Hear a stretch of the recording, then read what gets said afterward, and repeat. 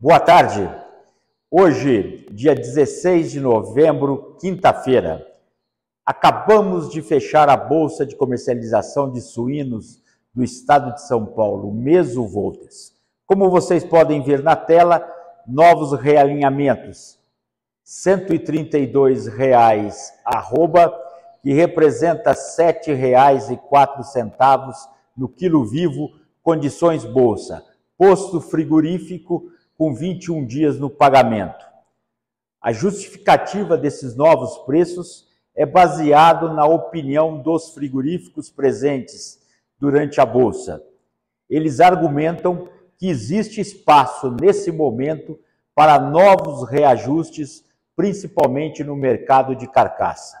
Vamos acompanhar de perto e foram comercializados 18.300 os suínos no dia de hoje. Fique atento, novas informações poderão ocorrer a qualquer momento. Muito obrigado e boa tarde.